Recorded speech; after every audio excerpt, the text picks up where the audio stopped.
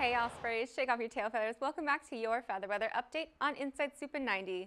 I'm Reese Weatherman. Let's take a look at your daily forecast.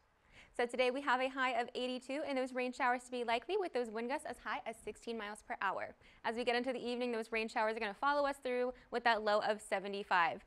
I know what you're saying, Reese, you're rambling. I'm going to need a rain check. So as we head over here, we're looking more closer at our Jacksonville area. As we can see, we have some of those storms moving in a little bit closer. And as we look at the next hour around 11 a.m., we are looking at a 58% chance of rain. As we get more into the afternoon around 2 p.m., we have a um, higher coverage for those rain showers at 75% chance.